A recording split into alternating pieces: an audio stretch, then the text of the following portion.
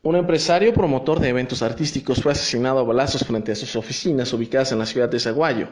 De acuerdo con la información obtenida en labor periodística, la Fiscalía General del Estado investiga el homicidio. El crimen ocurrió en la calle Madero, muy cerca de la intersección con la calle Allende. Vecinos de la zona reportaron el hecho al servicio de emergencias, tras lo que acudieron elementos de la policía y técnicos en urgencias médicas de protección civil.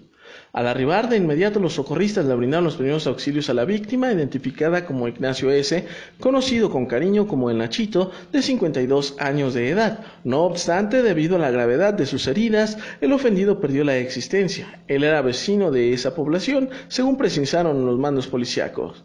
El área fue acordonada por los representantes de la ley y minutos después acudió el personal de la unidad especializada en escena del crimen, dependiente de la Fiscalía Regional de Justicia, misma que inició la recolección de evidencias y al final el cuerpo fue trasladado al servicio médico forense y la carpeta de investigación conducente fue iniciada. Informó para Red 113 Javier Magaña.